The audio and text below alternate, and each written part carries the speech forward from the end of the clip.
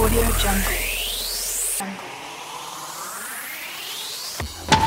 De manera categórica, el vocero de la Arquidiócesis Potosina, Tomás Cruz Perales, afirmó que la Iglesia está totalmente en contra de la pena de muerte y de castrar a violadores.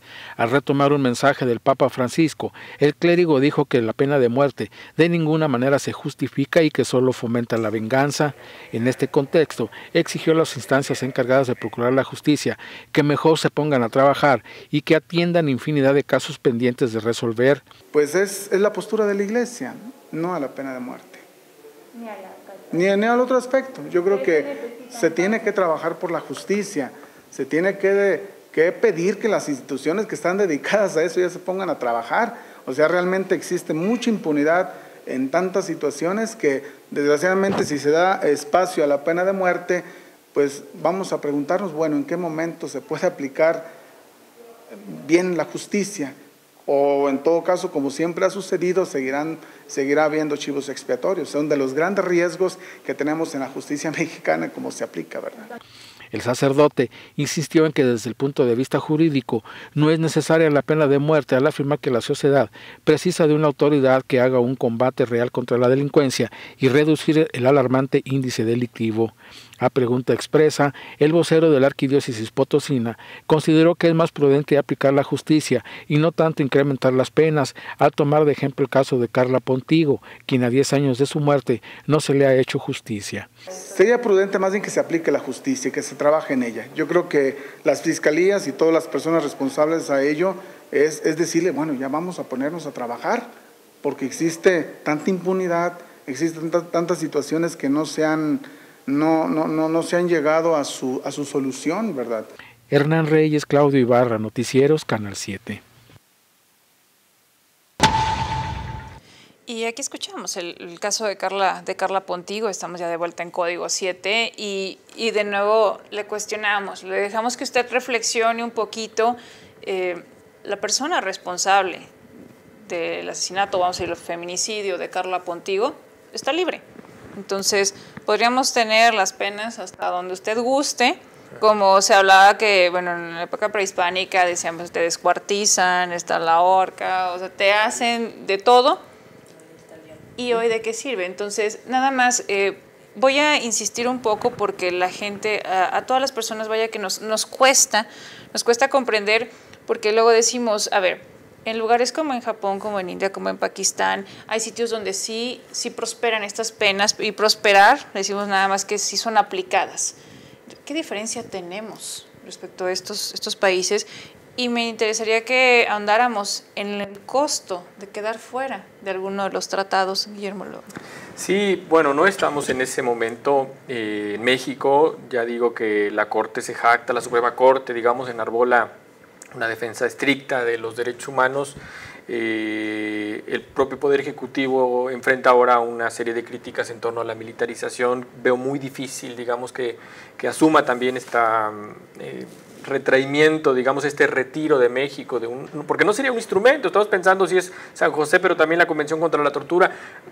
No, ni siquiera me viene a la cabeza cuántos instrumentos habría que retirar, revocar, digamos, eh, sustraerse el Estado mexicano, que ya dijimos que es un proceso difícil, pero que además, como decía en el bloque anterior, eh, tiene implicaciones, pues claro, políticas, geopolíticas, los socios, los aliados políticos de México, por un lado, bueno, la vecindad, como ya decíamos, con Estados Unidos, el liderazgo que pretende México en Latinoamérica, pero que además, sí, justo el aspecto es que también seguro que tendrá repercusiones económicas. Algunos de los tratados comerciales están condicionados al cumplimiento de estándares de derechos humanos.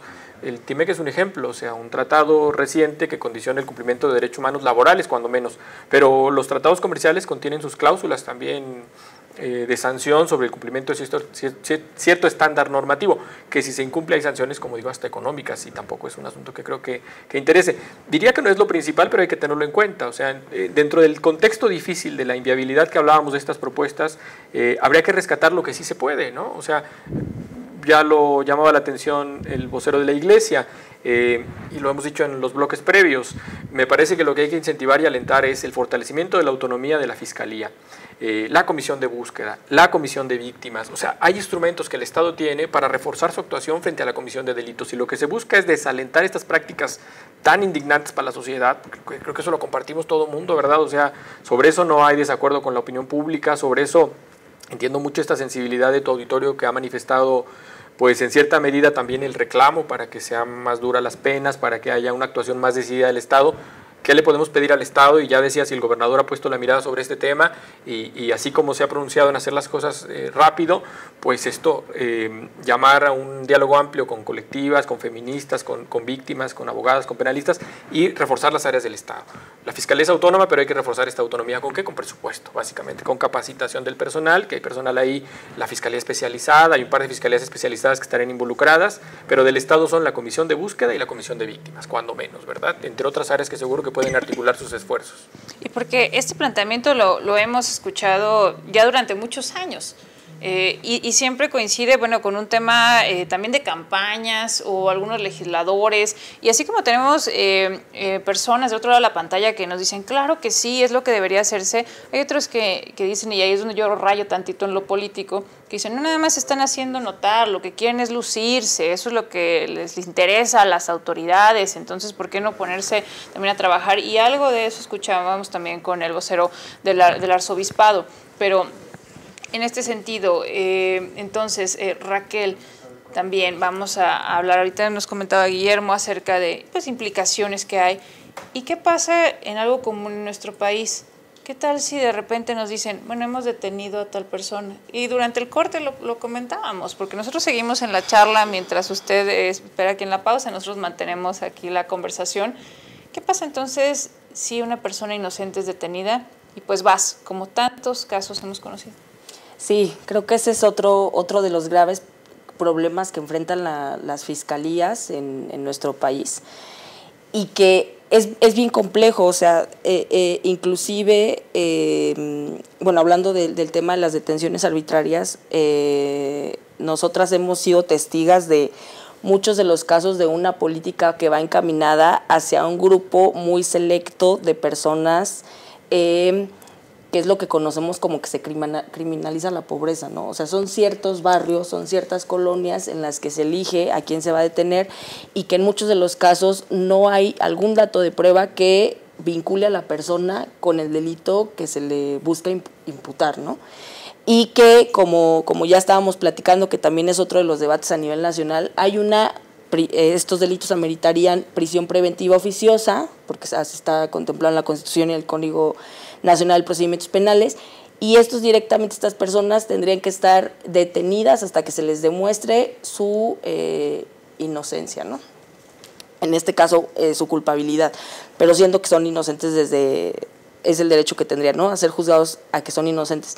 Entonces es un tema bien complejo porque la realidad es que no tener, las fiscalías no se dan abasto Inclusive, por ejemplo, eh, hablando de los graves problemas que se vinculan con la violencia de género, eh, inclusive, como, como ya lo platicabas tú hace un momento, la revictimización de que no se inicia una búsqueda inmediata, y eso es cierto, y más en los municipios, e inclusive van con la síndico, con el síndico, y porque es, lo más cercano a la fiscalía que tienen, no hay, no hay unidades que, que, que les permitan esa cercanía con las fiscalías, y si no, trasládese este, la revictimización, las, las medidas de protección que pedimos nunca, o son pocas las ocasiones en que va una, una, una, una patrulla, en que, en que se contesta el teléfono que se designa. Creo que es un tema eh, ah, y el tema de lo que ya también se posicionaba con el caso de Carla Pontigo, ¿no? Eh, las personas no eh, que cometieron estos delitos no están siendo procesadas. Entonces, creo que em, es un tema muy complejo y que una, eh, pensando en estas políticas reactivas, pues también analizar el tema de las fiscalías, ¿no? El tema de las comisiones de, víctimas, que también eh, los, el abogado eh, que lleva un caso, los asesores jurídicos, son muchísimos los expedientes que llevan, ¿no? más de 200 expedientes que sabemos que es algo que para brindar una atención eh, puntual no, no puedes eh, un abogado o abogada con 200 expedientes, ¿no? que son expedientes muy complejos. Entonces, también yo creo que posicionar y, en este momento el, tema de las fiscalías y otro tema que también eh, hay que retomar, que es el tema de la alerta de violencia de género en San Luis Potosí, que una em, que también, eh, y que Villa de Arriaga, no, no, no recuerdo si está en, la alerta, pero es una de, las, de los municipios que hemos visto un incremento en el tema de la violencia de género en contra de las mujeres, por el caso que, que detornó este, este, este, este debate. Eh, y, que, que ahí hay políticas por expertas eh, que han estado involucradas en su seguimiento que no se han cumplido. ¿No? Entonces, ya hay una, ya hubo un momento en el cual se detallaron cuáles eran esas medidas que se tenían que seguir y que pues hasta el momento no se ha cumplido una alerta que en teoría pues surgió para que de emergencia pudiera resolver temas eh, como, como estos de violencia de género, violencia sexual en contra de las mujeres y que están, que si revisamos la alerta hay unas, por ejemplo, en el tema de la recuperación de espacios públicos, eh, eh, pensando en que salimos a la calle y, es súper complicado el ser mujer salir a la calle en lugares oscuros, en baldíos. O sea, hay un listado de, políticas que se tendrían que estar haciendo. Y pues el tema también, yo creo que eh, prevención.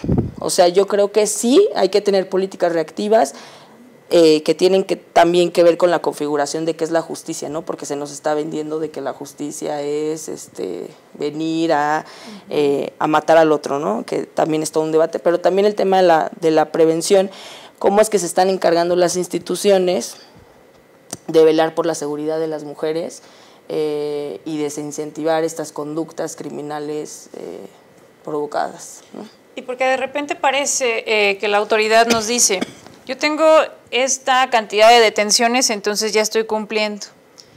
Y quizá podríamos pasar ya adelantándonos a algo que aún no se da, pero entonces ya tenemos esta cantidad de personas que hemos matado y entonces ya veremos en qué escenario podríamos estar en nuestro país. Lo dejamos también con este pensamiento si cree que las cosas están bien con las medidas que hasta el momento se han implementado y tenemos más en Código 7. Le pedimos que siga con nosotros, envíe sus mensajes y también cheque nuestra página. Sabe que en Facebook nos encuentra como Noticieros Canal 7, que nuestra plataforma es www.canal7slp.tv y regresaremos en un par de minutos.